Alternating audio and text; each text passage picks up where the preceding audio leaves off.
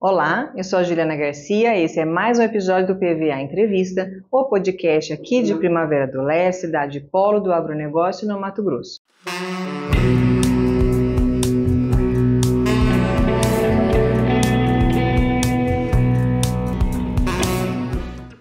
Hoje eu estou recebendo aqui Edson Dapper, ele é presidente do Cicobi e vice-presidente da Central Cicobi Rondon. Já deixa aqui o convite, se você não está inscrito no nosso canal, ainda dá tempo, é rapidinho, só se inscrever aqui embaixo e não esqueça de ativar também as notificações para você ficar por dentro de tudo que a gente prepara semanalmente para vocês.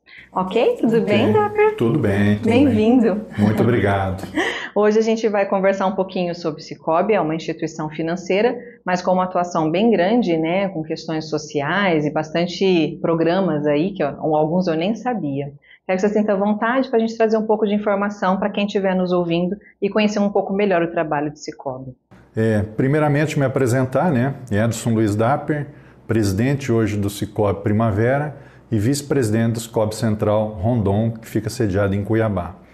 Falar bem rapidinho sobre mim, eu cheguei em Cuiabá, desculpa, em Primavera, em 2000, e de lá para cá eu passei dois anos como professor, que eu vim para cá por causa de um concurso público. Depois de dois anos eu assumi um armazém de grãos, que é totalmente diferente da área que a gente trabalhava, mas enfim, novos desafios, né? Sempre tem um pouquinho de receio, um pouquinho de medo, porque é uma coisa nova, mas acreditamos e fomos em frente, e graças a Deus fomos vitoriosos. Ingressei no Cicobi em 2014 e nesse período, eh, logo após de eu me associar à cooperativa, veio o convite para participar do Conselho Fiscal, como suplente, não como efetivo. É, aceitei o convite, porque são desafios e, particularmente, eu gosto muito. E a partir desse momento, é, a carreira dentro do Cicobi ela foi evoluindo. De suplente passamos a efetivo. Tive a oportunidade de fazer um MBA sobre gestão cooperativista, onde nós aprendemos mais sobre cooperativas. E de lá para cá surgiu a oportunidade numa eleição 2018, se eu não me engano, de ingressar no conselho de administração. Ingressei como conselheiro é, em 2020. Passei a ser presidente do Cicobi Primavera. Logo teve eleição novamente, concorri e fui eleito. Então, de 2020 para cá, eu estou na cadeira de presidente do Cicobi Primavera, né? e durante esse trajeto dentro do, do Primavera, eu também fui convidado e fui eleito pela Central Rondon para ser o vice-presidente da Central. Bastante desafio, né? É, são desafios grandes, né? Mas eu acredito que a gente estudando, buscando conhecimento e trabalhando com pessoas que pensam igual a você, a coisa acaba evoluindo e você acaba é, gestionando de uma forma que você consiga agradar a uma grande parte. Não a todos, porque sempre tem aqueles que você não consegue, mas na grande maioria você consegue agradar a todos. E claro, um trabalho sério, um trabalho honesto, com pessoas competentes ao nosso lado.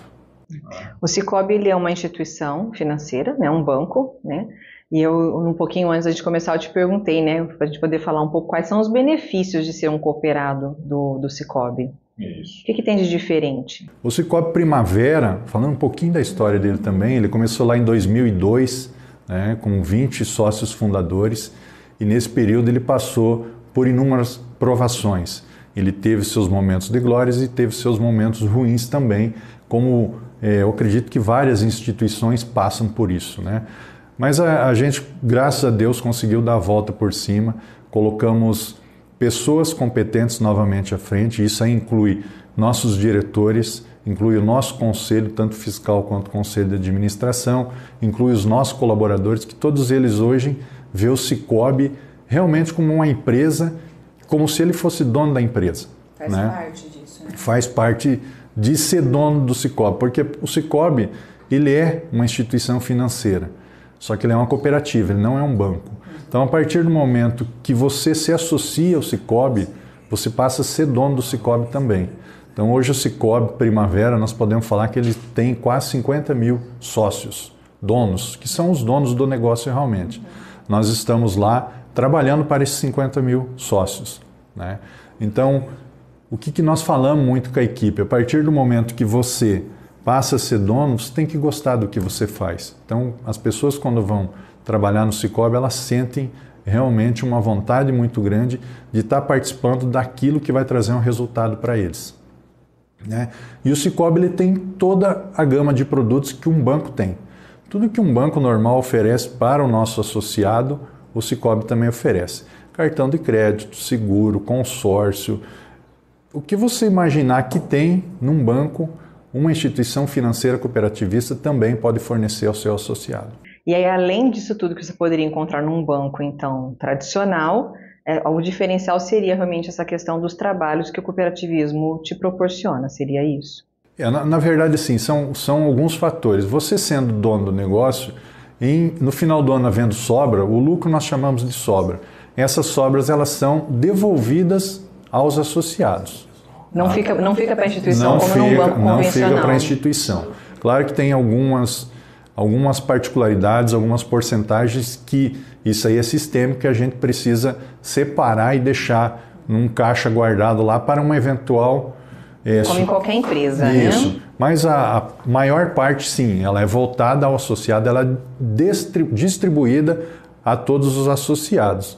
E fora isso, quem é dono também diretamente ele vai ter uma taxa de juro menor na cooperativa, ele vai ter um atendimento diferenciado numa cooperativa, tá? porque o, o foco, claro, que é ter o resultado final, mas não é só isso. O cooperativismo ele busca ajudar as pessoas, ele busca ajudar principalmente o seu associado diretamente, mas indiretamente ele ajuda também toda a comunidade onde ele está inserido. O simples fato de a gente montar uma agência numa cidade que só tem um banco ou só tenha outra cooperativa de outro sistema já faz com que ali naquela região a outra cooperativa ou outro banco já passa a diminuir as taxas de juros, passa a olhar diferente o mercado. Por quê? Porque eles sabem que um sistema cooperativista ele vem mais agressivo no quesito de ter menores taxas em tudo. Então faz com que as outras instituições elas pensem, repensem e daqui a pouco diminuam um pouquinho também a sua margem de ganho. O cooperado ele não é só mais um cliente para girar o dinheiro ali, né?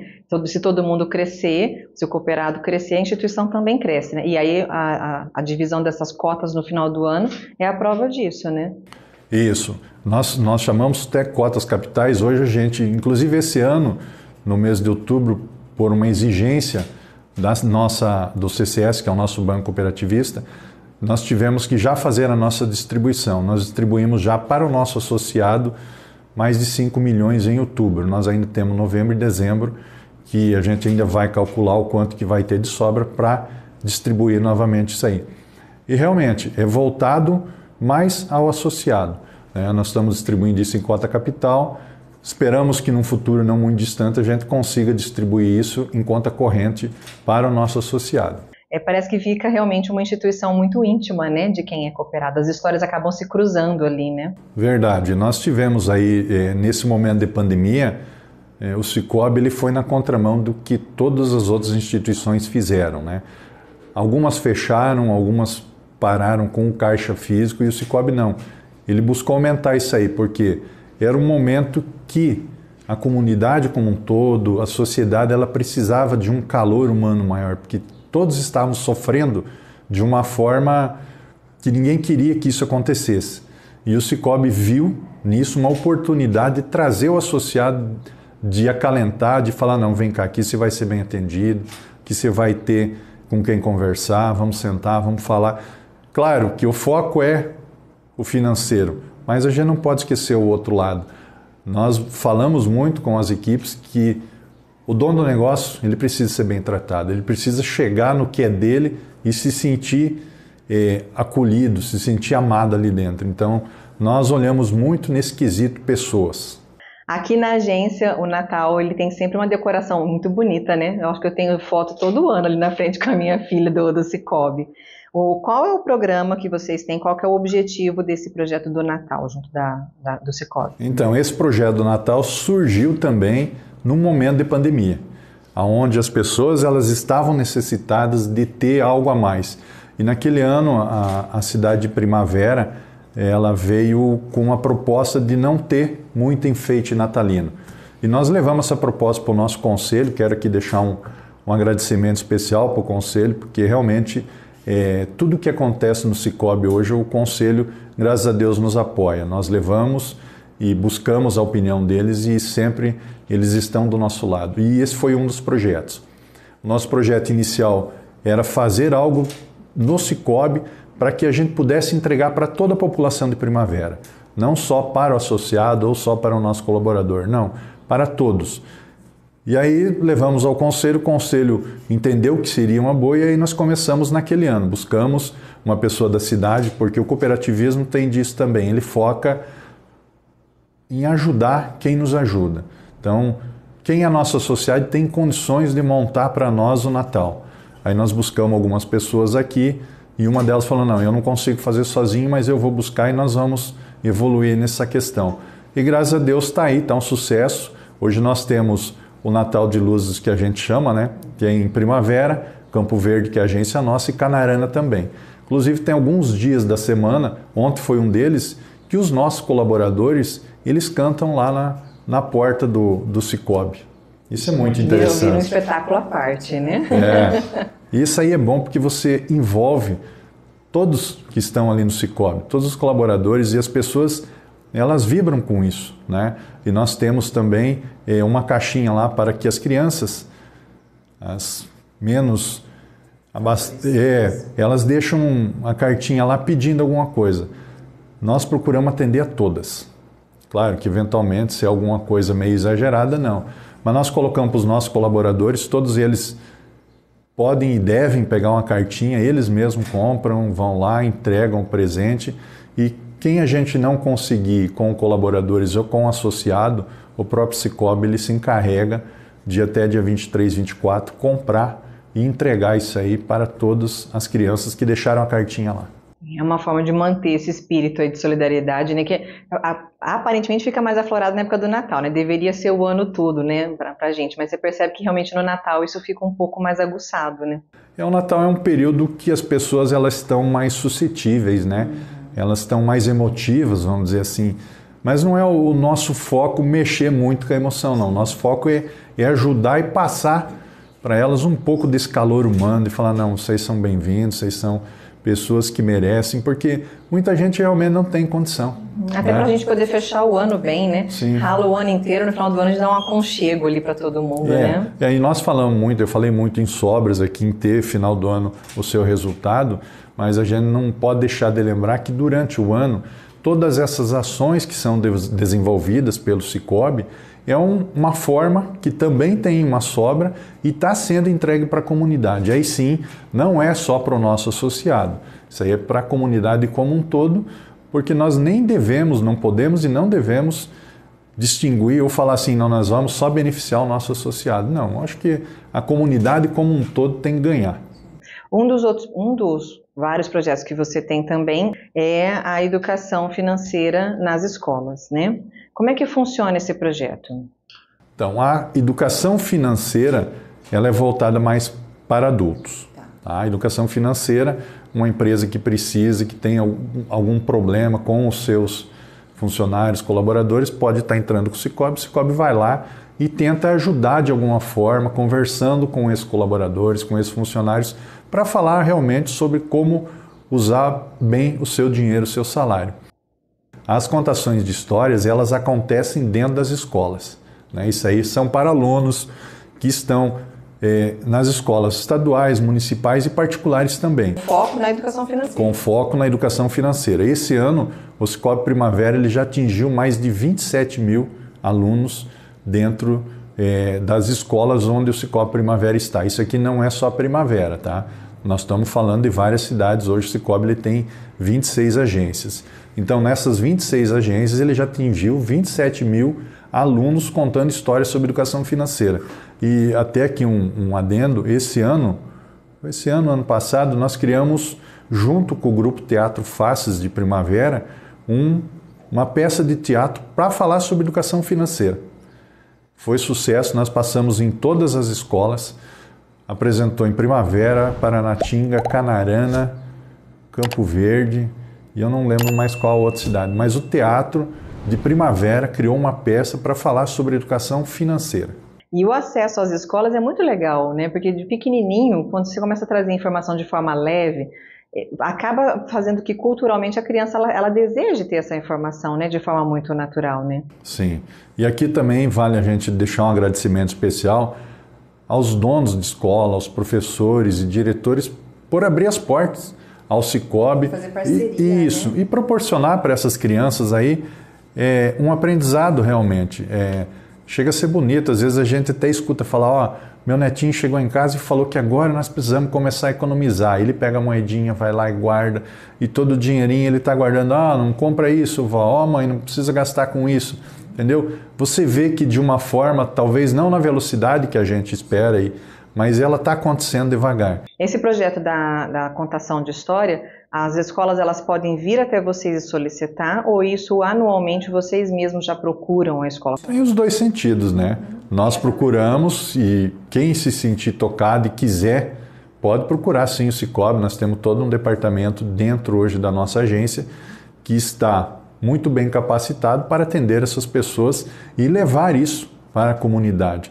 E isso aí pode englobar não só alunos, tá? isso aí pode ser feito dentro de empresas, qualquer lugar. Nós temos uma clínica financeira que daqui a pouco pode dar suporte para alguma empresa que está tendo ou está tendo algum problema financeiro com relação aos seus colaboradores, aos seus diretores, inclusive aos seus donos, né? De que forma seria melhor aplicar aquele dinheiro? Será que essa necessidade realmente existe de eu gastar essa quantia nesse momento ou não?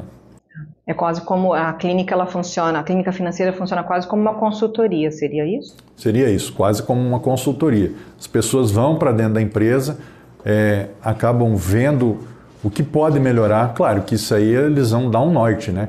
Quem vai realmente falar se vai ser feito ou não vai ser a empresa, todo, tem toda essa logística aí. Mas o Cicobi, sim, ele proporciona isso ao seu associado.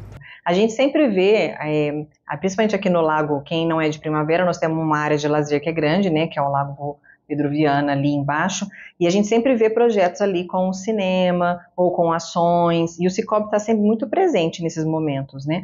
Isso também vocês têm um, um é um calendário de eventos que vocês têm para fazer para devolver isso para a sociedade, que envolve tudo. E como é que funciona esses eventos? Não, os eventos nós temos aí acho que dois ou três eventos por ano que esses são já vamos dizer assim que nós fizemos todos os anos. Oficiais. Isso. Mas aí, eventualmente, ou surge alguma demanda, ou a gente, o próprio Cicobi vê a necessidade de ter algo a mais, aí a gente vai e faz. E você falou do lago, né? Esse ano nós tivemos o nosso dia C, que é um dia que acontece é, no meio de ano. Todo ano tem o dia C do cooperativismo. Esse ano nós não fizemos no lago. Uma opção nossa foi ter feito lá no Primavera 3. Esse dia C no Primavera 3 foi um dia fantástico. Quem passou por lá, nós não trouxemos a comunidade para o dia C, nós levamos o dia C para a comunidade. Nós escolhemos estar perto da comunidade. O que, que envolve esse dia C? Esse dia C tem contação de história, tem é, documentos que pode ser feito, tem exames médicos. O que você imagina, tem gincanas, tem comidas, tem show, tem pipoca, tem o, o, o que a gente pode proporcionar para a comunidade, nós levamos para eles. Todo meio do ano acontece. Todo meio do ano. E o bom disso é que não é só para crianças, tá? O dia C engloba to, todo mundo. Nós tivemos médicos lá, ginecologistas, dentistas, pessoas envolvidas em eh, documentos, curso de cabeleireiro, corte de cabelo, várias situações e realmente a gente enxerga que conseguimos fazer a diferença naquele momento, naquela comunidade. Claro que o ideal seria a gente conseguir levar isso aí mais vezes e para todas as comunidades. Mas é humanamente impossível, vamos dizer assim, a gente conseguir fazer isso. O Cicobi faz a parte dele, procura fazer bem feito. Né? E eu acredito que esse é, é um dos melhores dias do que o Cicobi consegue entregar para a comunidade. Mas fora isso, tem várias outras situações no dia a dia, no nosso cotidiano, que nós estamos ajudando uh, os nossos colaboradores em tudo que eles são solicitados, isso não só financeiramente.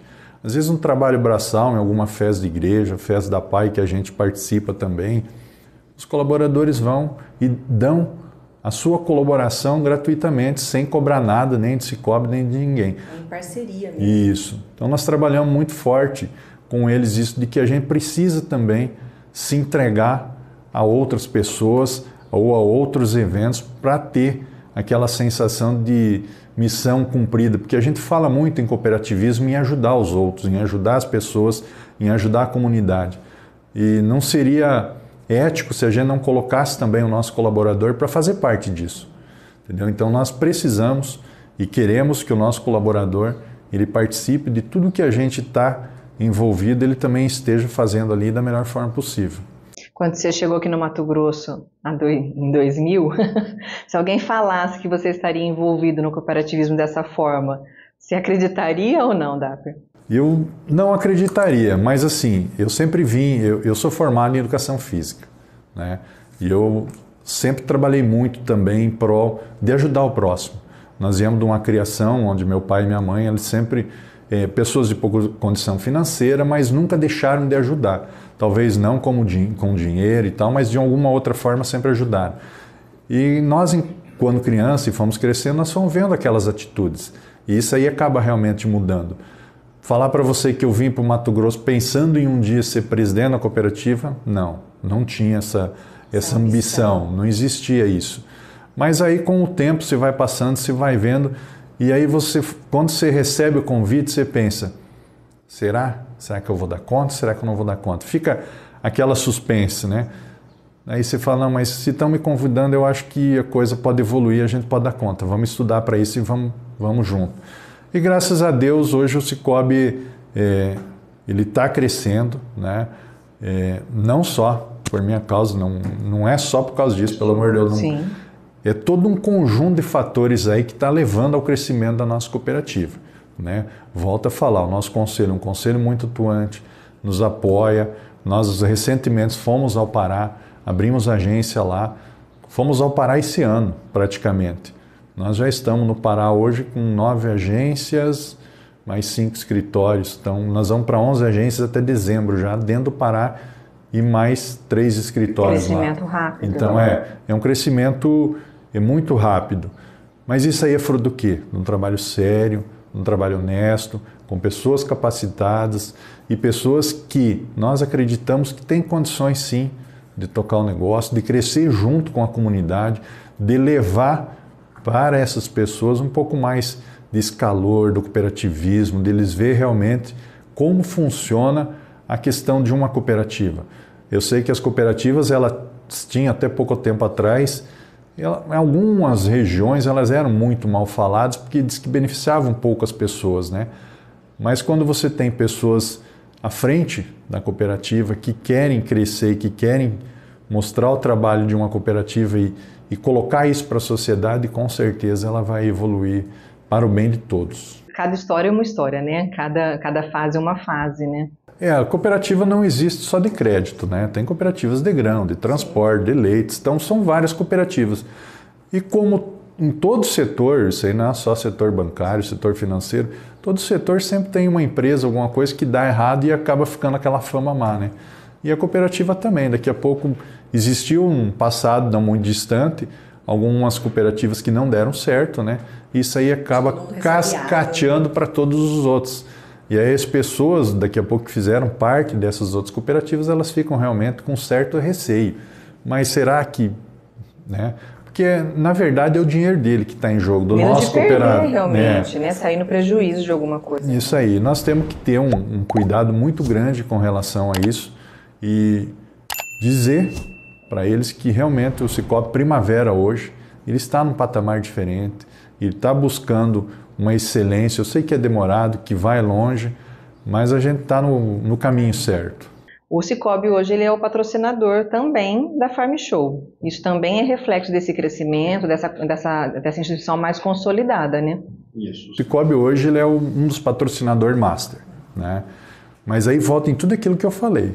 Hoje a feira Farm Show ela é uma feira é, conduzida por pessoas da sociedade primavera, que são pessoas bem vistas dentro da sociedade, são pessoas com uma credibilidade muito grande e que passam uma segurança muito grande. Então, nada mais certo do que uma instituição financeira igual o Cicobi apoiar essa feira, porque são pessoas que lá estão e que querem realmente ver o bem da cooperativa, da, cooperativa, da feira, da cidade. Então esse crescimento ele vem de encontro ao crescimento do Cicobi também e o Cicobi vai de encontro ao crescimento deles. Mas por quê? São gestão, são pessoas que estão imbuídas de uma vontade extrema de fazer a coisa acontecer e a coisa certa. Primavera, ela está despontando num cenário nacional hoje. A Farm Show é uma das maiores feiras do Brasil hoje. Ela tem bilhões de negócios todo ano. Então, nós estamos vendo que o crescimento ele precisa acontecer e ele vai acontecer. O crescimento de primavera ele vem, independente hoje se nós estarmos aqui ou não, o crescimento ele vai acontecer. Né? Mas que bom que a gente está à frente disso, estamos acompanhando esse crescimento. Não podemos esquecer lá atrás os nossos pioneiros que ainda hoje estão aqui. É bom ouvir essas histórias. Eu também gosto de sentar e ouvir. Ah, veio e ficou embaixo de uma lona acampado no Rio das Mortes. Faz parte, faz parte da história. Isso aí é importante. E aí a gente vê que realmente Primavera ela entra num rol de uma das melhores cidades hoje. Mato Grosso nem se fala, né? A gente pode até falar já a nível de Brasil. E a feira, ela vem trazendo isso e ao mesmo tempo ela quer proporcionar para o seu cliente que lá está, para o, o geralmente ali é produtor rural, mas enfim, acaba atendendo a todo mundo, né?